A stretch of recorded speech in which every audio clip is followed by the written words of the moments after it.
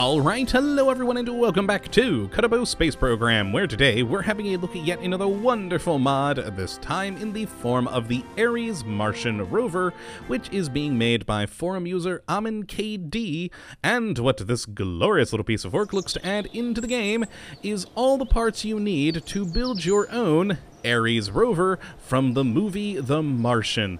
And that was a wonderful movie with a wonderful rover. And so when I saw this pop up on the forums just today when I recorded this, I had to give it a look, and I gotta say, I'm pretty impressed for the state it's in so far. It still is sort of a work in development, but it's pretty awesome. So let's jump right on into the spaceplane hangar and have a look at all the parts that do make it up. And currently, there are only six parts. Now, the mod maker is wanting to add more in the future, but for the moment, it's just the basic rover, starting with, of course, the Martian rover module here, which if we pop it in and then perhaps grab, uh, yes, a Mark 1 capsule for scale, there we go. Quite a nice little uh, rover capsule here, and it is a command pod. It can be unmanned, electrical charge of 4.8 per minute requirement for it. It has its own reaction wheel, SAS, and a battery of 30, and can only fit a one singular crew member inside, and it's pretty nice overall. Very good looking. Sadly, does not yet have an internal view, but that is sort of an immediate thing that the mod maker is working on and hoping to get into the mod as quick as possible. Because, well, who wouldn't want the internal view of this baby right here? And overall, very, gorgeous modeling to it. The only sort of uh, pet peeve I have with it is the texturing. You guys know me, I like stock alike parts, so uh, this being not quite stock alike, it puts me off a little bit, but overall the whole mod put together is just so cool, I can ignore that uh, but hopefully it does see a few improvements in the future. But for right now, very well done, very well made. Now, the next two parts we're going to have a look at are down here in Structural, where we will find two different trailer pieces. The first being the primary trailer, which if we just sort of, uh, oh boy, pop it on here somewhere, there we go. uh, yes, it is a lovely trailer. Let's actually flip this thing around so it's slightly better viewed, kind of.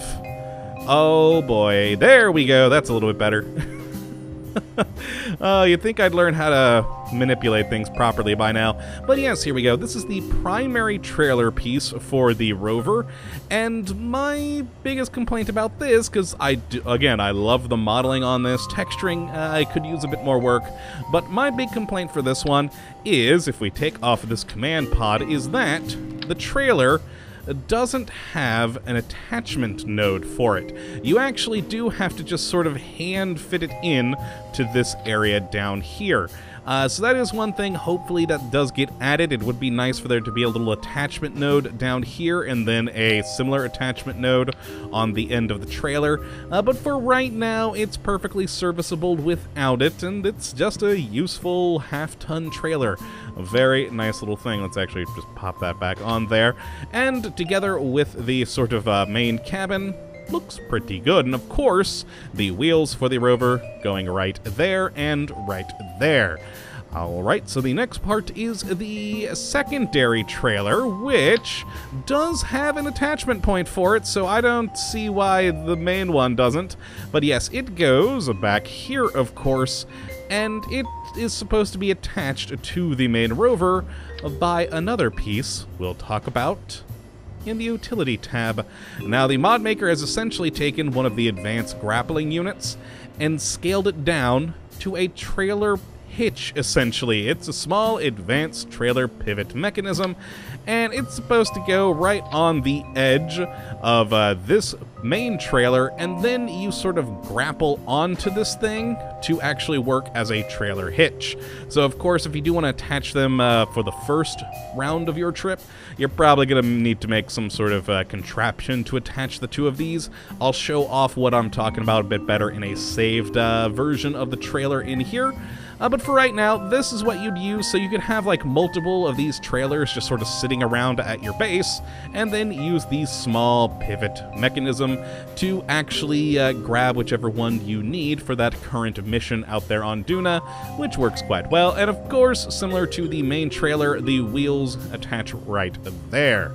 Now, the next two parts that we have here in the utility tab are, of course, well, the wheels. Kind of be hard to have a rover without wheels, so if we grab one of these, there we go again. Gorgeously made on the modeling. I really do enjoy it. Very cool looking wheel. And as you can see here, we have an impact tolerance of 300 on this thing and a maximum speed of 100 meters per second with using electric charge of 0.25. Now, it won't ever get up to actually 100 meters per second. I don't think I've ever gotten this thing up to even 50, but one thing that is cool about this whole system is once the whole mod's put together, the whole rover rather, it's actually supposed to be on par with the range of the actual rover in the movie. So with a full charge, you should get about 70 kilometers out of the rover, which is quite cool. I like the uh, sort of accuracy to that. It's very nice. Now, the next part that we have in here, and the final part, oh boy, where'd it go? Here we are, the Martian rover solar panel and battery. And you just sort of pop this onto your trailer wherever, and it's a built-in battery with, uh, you know, quite a nice capacity at 4,800 electrical charge. That, of course, has the built-in solar panel on the roof. Now, the solar panel itself isn't exactly the best of them out there, but it is fairly functional at 6 electric charge per minute. And uh, actually, how does that compare to, say, one of these up here? So yes, that's 24 per second, so definitely a much slower solar panel, but perfectly acceptable for most missions. Now, these are the six parts as it exists in the mod at the moment. As I said, the mod maker is wanting to make more things, like for instance a deployable solar panel to go on here, so like when you're stationarily parked someplace, uh, stationarily was probably the wrong word to use there, uh, you can actually extend a solar panel to get more charge. They're also thinking of making like a habitat module trailer or something like that, or at least a module to go onto a trailer, which would be quite cool. So hopefully we'll see a lot of interesting parts coming out for this in the future, but for the time being, you can make a pretty nice rover to go onto any planet you may want, not just Duna. And uh, here is a finished one, which does actually come with the downloaded mod files, so you can just load this up for a completed version of the rover.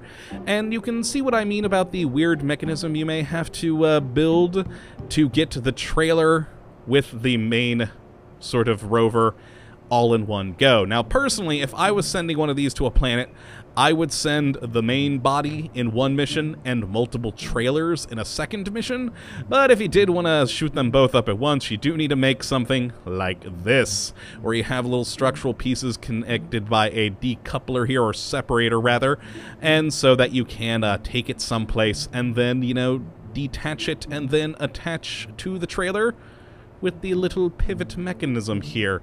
Uh, very cool. We'll show that off on Duna, of course, because, well, this is the Ares rover from the movie The Martian. So I figured best to show this thing off on Duna. So I cheated one up there earlier with uh, good old Hyper Edit. So let us go and take a look at it. Actually, let's fast forward time until it's in a good position sun-wise, because at the moment, it's getting near the dark end, or is in the sort of morning, I guess. So there we go. That should be nice in midday. And let us head right on over to Duna and have a look at this rover in action. And overall, it's it's a pretty cool little thing. I quite like it. I love the look of this thing in the movie, and so I'm quite happy to see it here in the game. Just as happy, in fact, as I have been for all the other rover mods that are uh, Martian mods rather that have been coming out in recent months. It's been quite cool. So yes, here we go. We have the full rover here with a uh, Kerbal inventory crate on the back for you to, uh, you know, store any of your goods. And with this Sepratron still attached, we can just drive this thing around like any normal rover. But of course, you're wanting to see the trailer mechanism, so let us park and put down our gears. There we go, got that to keep up the trailer so it doesn't tilt downward and then just release the Sepratron. And then turn off the brakes, of course, so I can move. And there we go. Just go forward. Let's drop the Sepratron. What was that explosion? okay, gotta love Kerbal Space Program. Sometimes things explode for no reason. And you uh, use this just like you would the normal sort of grappling unit. You just release the arm, and then back right on into this thing. Oh god, I've gone a little off center. Oh boy. Okay, okay, let's let's do this a little bit better here. I've exploded things again. All right. So if we move forward, or reverse rather, there we go. We are now connected, so we can bring up the gears and drive away. Now it defaults into uh, locked mode, but we can turn on the free pivot, so it actually functions like a trailer hitch. It actually pivots back and forth as we turn, which is quite nice. I, I like that little extra detail with this thing. Though, of course, if you don't get it quite on center, as I didn't... then it'll be a bit off kilter, which means you'll have to correct it with turning every so often. But overall, a very cool little thing. I like the idea of a scaled down grappling hook, or grappling mechanism rather, to be used as a trailer hitch. It's a pretty cool little idea that I'd never thought about before, but it works quite well and just makes for a very cool little rover that you can drive around. So yes, this has been, of course, the Ares Martian rover, being made once more by user Amin KD, if that's even how you pronounce that name correctly. But yes, overall, very cool little mod, very well made, and I cannot wait to see how it does improve in the future. Uh, but yeah, if you would like to check it out for yourself, you can take a look at the link in the description as always, and I definitely say to give it a go and uh, add it to your rover collection on other worlds. But yes, that is going to be it for this episode, my friends. I hope you have enjoyed, and of course that you do come back for the next episode. But until then, thank you for watching, and as always, have a good one. Now let's uh, just go for a nice Sunday drive. Later, folks.